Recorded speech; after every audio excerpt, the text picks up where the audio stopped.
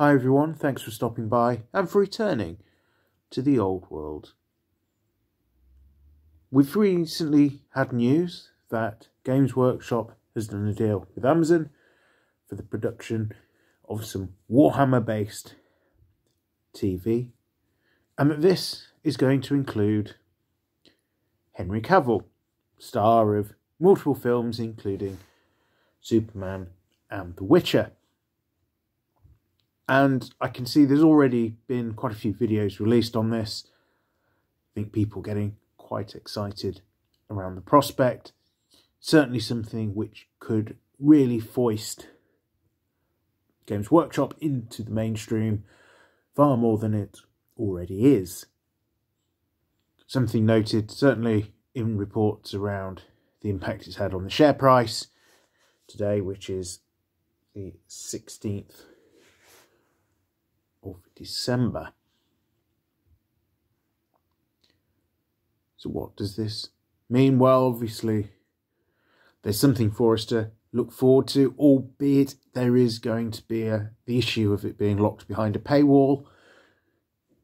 I imagine you'd need to be a subscriber to Amazon Prime to get hold of this event when it eventually comes out, whenever that may well be. Could be a few years down the line, who knows at this stage.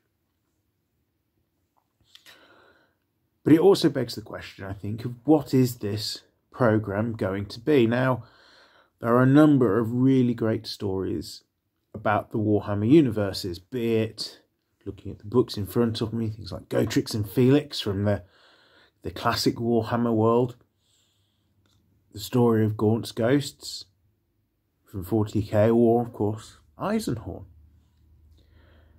Now, I have seen previously some utterances around Games Workshop looking to do something with the Eisenhorn character.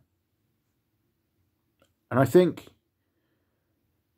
that would make some really good television. And there's an opportunity here for Games Workshop and Amazon to do something really right and really special. Why? Well, when we think Warhammer 40,000, what do we think of? We think of genetically engineered superhumans smiting the enemies of humanity. That superhuman is probably wearing the blue armour of the Ultramarines. They are, of course, the poster boys of the last few editions of Warhammer 40,000. But Eisenhorn, Eisenhorn offers us something different. And it's not something that will only appeal to your casual fan, to your 40k fanboy, and things like that.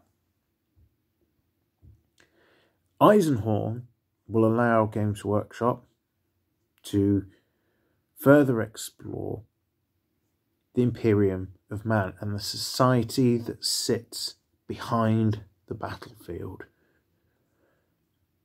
It's a small number of characters that have a really interesting dyma- dynamic lots of layers, unrequited love, things like that going on. Um,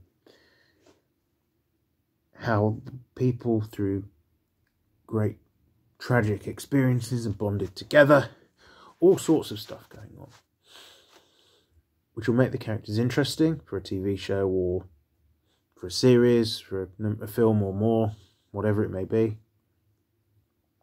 and can really, if well done, I think, capture the imagination. But the stories around Eisenhorn, obviously the book here written by Dan Abnett, they're not just about war. They're about the society. There's stuff to explore. You've got the who done it kind of elements of the investigation. Did trying to track down the big bad for that episode, for the series, however they decide to play it. There's an air of mystery, there's problem solving, and there's the opportunity to really provide a critique of this society of the far future. Now, this doesn't mean to say that whatever show they produce is going to be amazing. They could drop the ball fantastically. There is absolutely that opportunity that they're going to turn out something that's utter, utter guff. And when I say utter guff, I'm thinking of some of those classic, shall we say, fantasy films, which they're not very good. They've got all the tropes in them and they're just so one dimensional, it's untrue. But they could also do something really special, something really interesting, and something that has mass appeal because there's something in it for so many different types of audience. We've already seen huge success with Games Workshop in fields outside of wargaming. The Total War Warhammer series really jumps to mind. It sold, I don't know how many million copies across the world. And I think the only thing that stopped that from being a winner and bringing people into the folder of the War Games hobby, certainly within the Warhammer sphere of that, is the fact that Warhammer the Old World hasn't been released yet and isn't going to be released for quite some time. I'll be honest, I think Games Workshop have really missed a trick with that, and there was a real opportunity to get people in, to sell them models, and get them pushing plastic around the table. The moment for that has probably passed.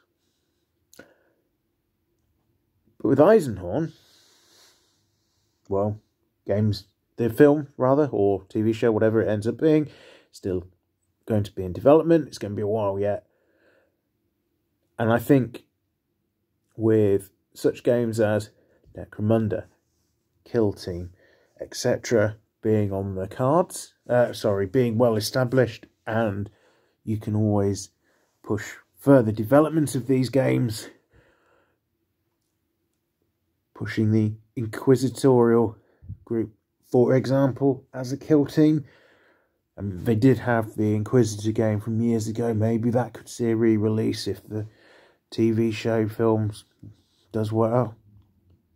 There's loads of options here to get people into the hobby, which will probably be quite exciting, I think, for Games Workshop as a company.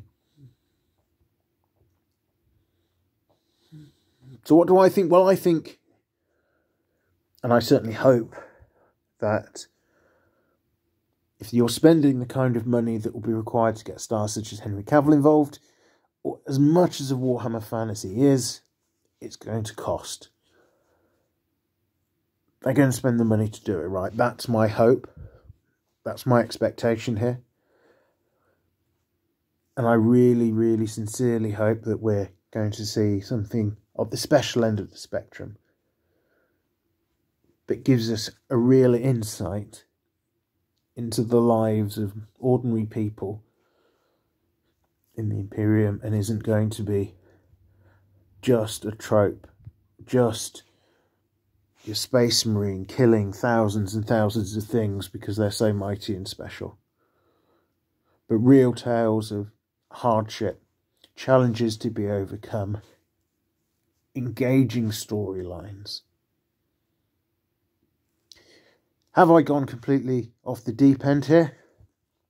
Do you think that I'm hoping for something that just isn't going to happen? If so, do, let me know in the comments below. What are your thoughts for this? This is Return to the Old World. Thank you very much for listening. Have a great day.